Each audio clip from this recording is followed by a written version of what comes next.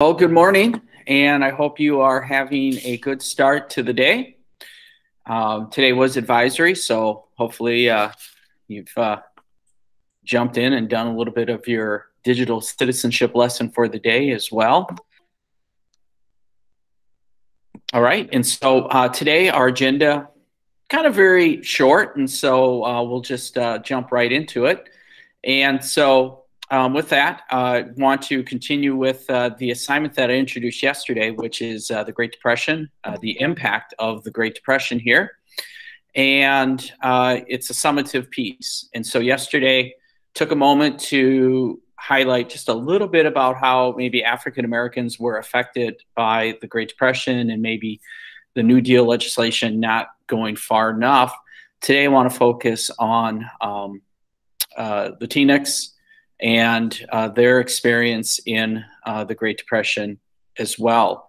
And so, one thing that perhaps maybe that you have um, noticed as you are working on this assignment is that uh, perhaps maybe early on in the, the Great Depression, uh, you have, um, when it comes to jobs, uh, some of the groups that are first uh, let go uh, might be uh, women and uh, minorities.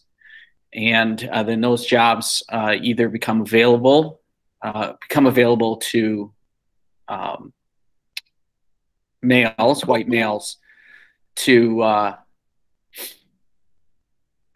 to have.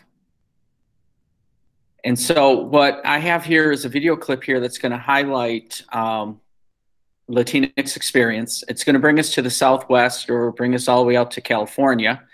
And it's going to focus on an experience of a particular family. And then, uh, you know, we can think about that experience of that family and in terms of then uh, being replicated in, in some regards by other families in California and then uh, a part of the United States. All right, so let's focus on that. So let me get the, the video clip going.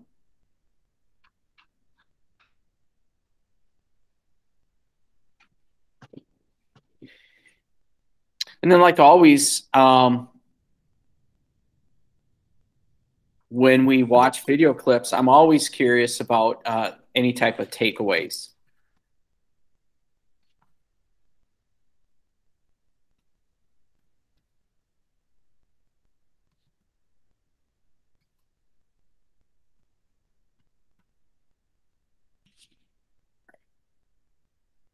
Think about those take.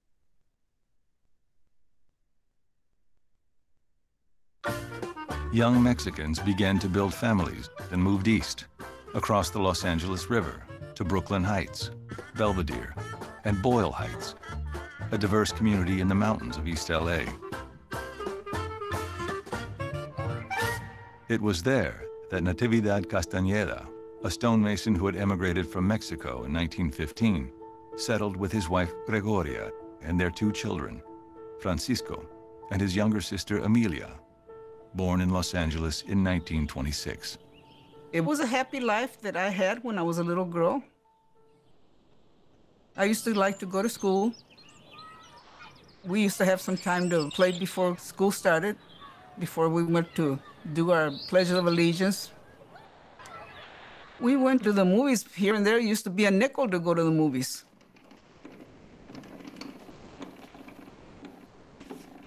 We used to have a Victrola.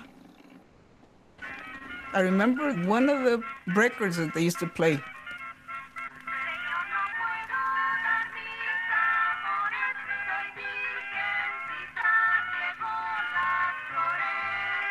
It was a song about Soy virgencita, entre las flores me encontrarás.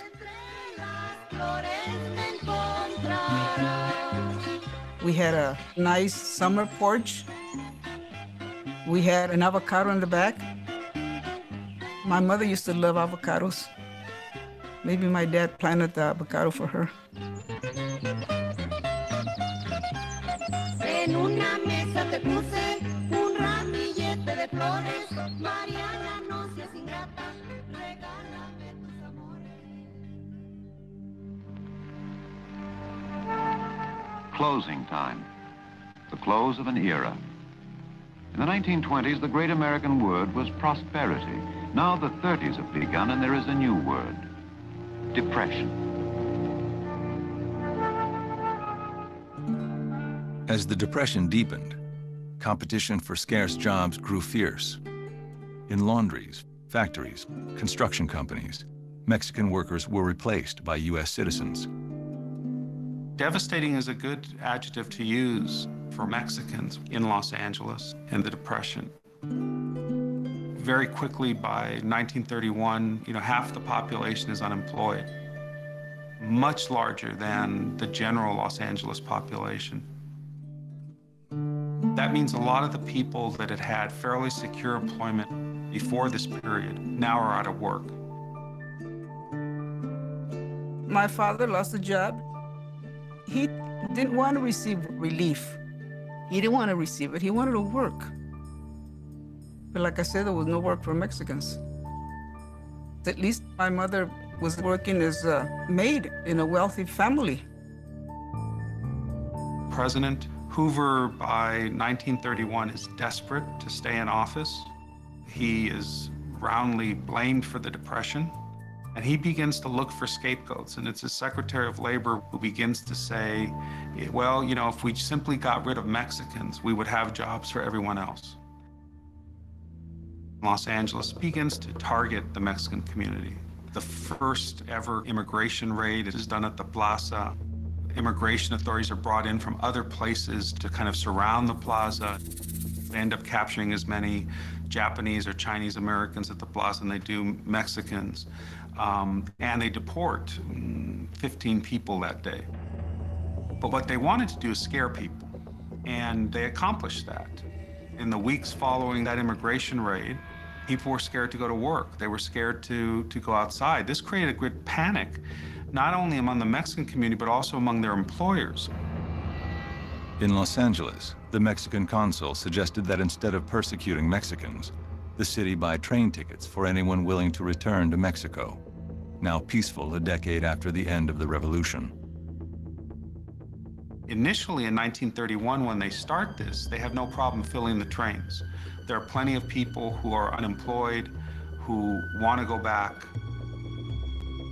By 32, they have trouble filling the trains, and that's when more coercive measures start to be used county welfare officials begin to target certain neighborhoods, neighborhoods that they know have a large number of unemployed Mexicans. They will go house to house. They will say, the cheese that you're getting, the bread we have been giving you is no longer going to be made available to you. Instead, we will give you this one ticket, and this is for a ride back to Mexico on a train. This is your only choice you will get no more assistance. For the Castañedas, the knock on the door came early in 1935, not long after tragedy struck the family. My mother got sick with TB. She died.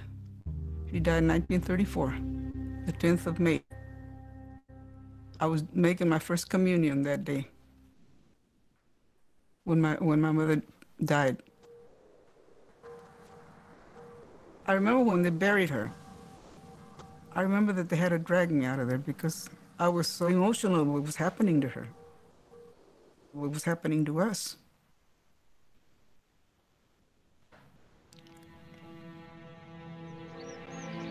Natividad Castañeda was offered three tickets for himself and his two American-born children on a train going to Durango in northern Mexico.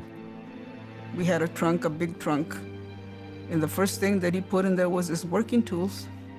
That's what went in there, and, and a couple of blankets that we had, a few cooking utensils and dishes, and what little clothing we had. Because we lost everything. We arrived at the train station that was very crowded. People crying, children and adults. I was approached by a man. He says that I could stay here, but I would become a ward of the state. You know, like you hear about these orphanages. I, I didn't want to be in an orphanage. I wanted to be with my father and my brother. I had a family. Between three and 500,000 Mexicans and Mexican Americans are forced out of the United States in the 1930s.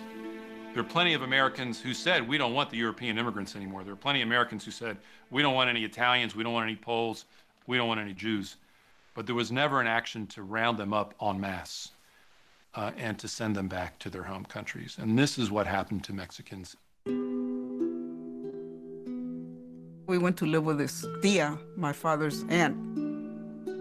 We really weren't welcome because, you know, there wasn't much room even for them. So we had to live outdoors, sleep outdoors.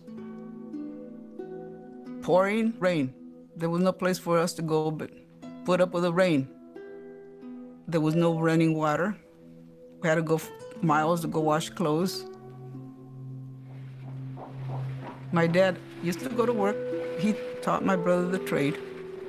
And I told him that I was leaving school, that I, I would be with him. I didn't have time to be playing here and there. I had to work.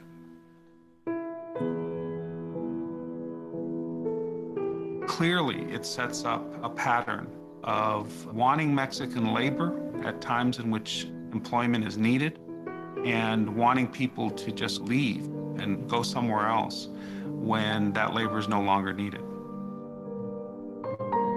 To be marked as visibly Mexican in America in the 1930s is to put you and your family at risk. And so Mexicans become in LA in the 1930s what one historian has called the invisible minority. In other words, they withdraw from public life. It doesn't mean that their culture disappears, but it means that a community that had been so expansive and overflowing retreats into a kind of shell.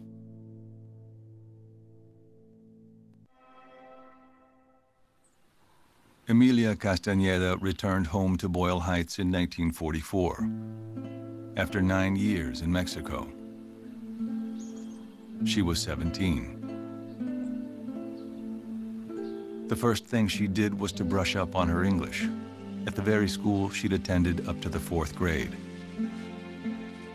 Once when I was coming back from school, uh, one of the neighbors asked me if I was Emilia.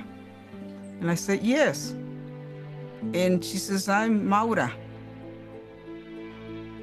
And she invited me to my home, the home that had been ours. Emilia had lost it all her home, her childhood, her family. Her father, Natividad Castañeda, could never again return to the United States. They stamped on his papers that he was deported. Every year I used to go visit him. I didn't forget him.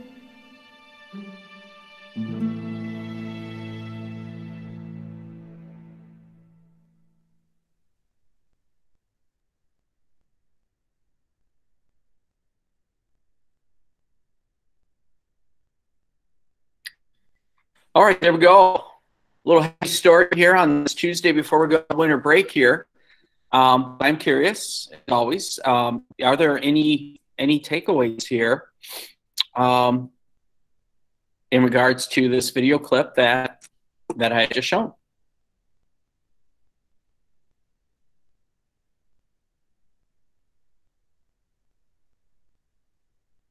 Okay, I see some some good um, responses being put in the chat. And so uh, I think those are those are valid uh, points that are being brought up here uh, in regards to um, immigration and in terms of uh, looking at immigration maybe in an economic sense and uh, when the times are good uh, encouragement for that labor pool and when times get bad we see that pool getting restricted and in the case of um, Mexican Americans, Latinx uh, community, uh, there were some examples of deportation. And so, if we put this in a greater context, um, immigration in the United States in the front end of the 20th century is a very uh, difficult uh, policy for, for the United States in that uh, very restrictive and uh, only identifying certain groups really being encouraged to come to the United States. Um, we have things like quota systems, uh, percentages, uh, areas being designated as uh, desired. Um, when I think of, in a, you know, um, my mother's side of the family, uh, her grandparents have still not become um, citizens of of the country. They're considered aliens, and um, they are uh, German uh, in descent. Um, that will come into play, though, in the next decade in the Second World War. Uh, they will quickly get their citizenship papers um, at that moment uh, because they they are realizing that uh, one in the 1940s we're going to be at war against uh, Germany. two, there are um, relocation camps being set up uh, for German Americans and aliens, as well as Italian Americans and aliens, but then also the Japanese Americans and aliens as well with internment camps. So when we get to immigration, I think if we look at uh, another kind of takeaway here about immigration, uh, immigration is always a very contentious issue for, for this country then as well as now.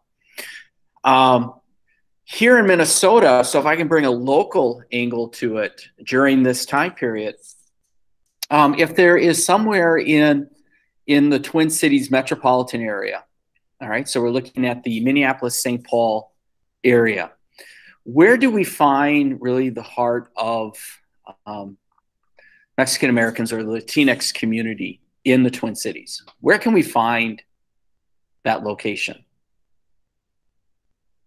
So I'm looking at a, a geography play, a geographic feature or place. Does anyone know? Either on mic or put in the chat.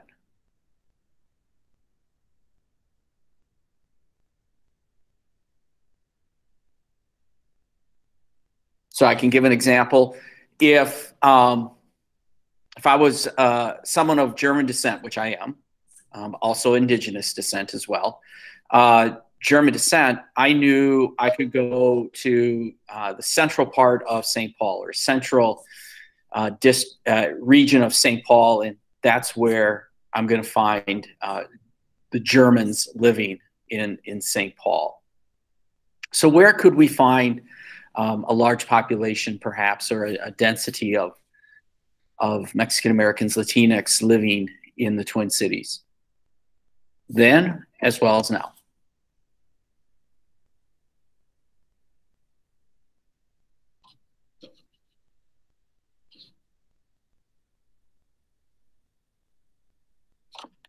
All right. Well, I'm hoping you're at home, kind of scratching your head. It's like, well, I don't know where Mr. Newcomb's getting it. All right. There we go. There we go. I see it.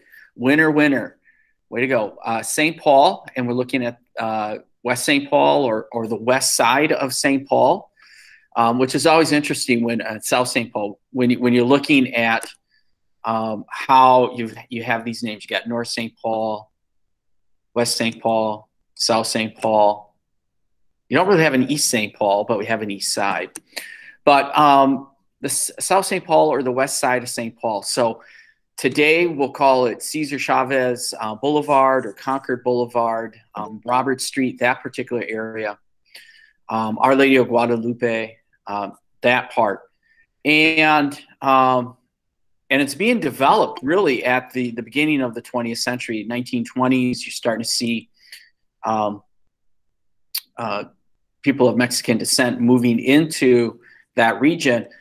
Could be because of the Mexican Revolution, um, but the desire for jobs. And in South St. Paul, you have the meatpacking plant uh, plants, and so in the 1930s, all right. So long about way, bringing this back here. What you saw going on in LA in that little video clip also occurred in Minnesota.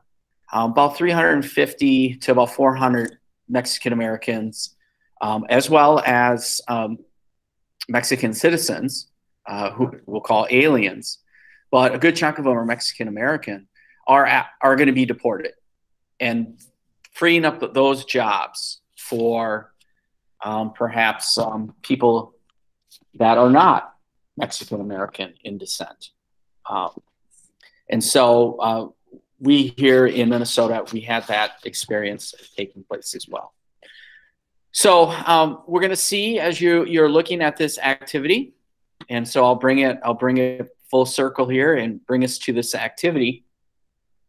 Um, you're looking at the the impact, and um, hopefully you're finding some positives. Because past couple days I brought in some some gloomy stuff. Hopefully we can find some some positives here. I will say for Indigenous people. Um, there is a piece of legislation that's going to be passed. The Indian Reorganization Act, or the IRA, is passed here, and that is that in some ways is can be have a positive spin. So if you're doing Indigenous people, there you go. There's your hint there. Uh, it allows uh, Indian reservations and communities to once again bring back their their tribal government and create a government uh, and have a little bit uh, autonomy on um, the reservations here. So you have that piece. All right. Um, are there, so with that, looking at this impact activity, remember uh, you can work with a historical buddy. Uh, do uh, do uh, January 6th. Uh, so that's a Wednesday. This is a summative piece, so it's, it's very important that you do this.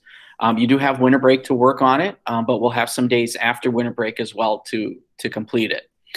Uh, so if you are working with historical buddy, make sure you are social distancing, being very, very, very, very safe in that regards. Okay. Um,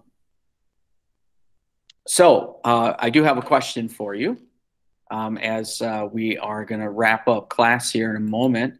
Um, perhaps maybe uh, before we, we check out here, uh, share some winter plans here. I know my family, we, we typically like to maybe sneak out of town here and not go south, but go north.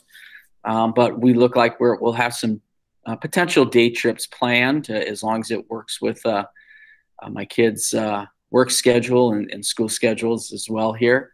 Maybe go check out the Eagles in the Wabasha area sneak up to the North Shore and take a look at some of those falls as well. Day trips, though. So, anyone have some big uh, winter plans they would like to share? So, we get on some positive notes here. Absolutely. Ice hockey. Got to do it. Shopping, stimulate the economy. Absolutely. chill and hang out. Of course, we have to reconnect and we got to re energize as well.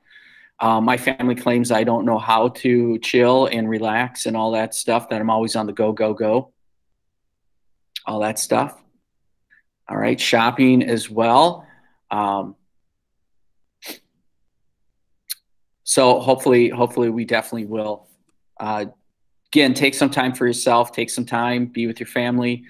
Uh, take some time, of course, to um, do those things that that make you feel feel good. That's always that's always important. So with that, um, I hope you have a great winter break, and um, see you in January.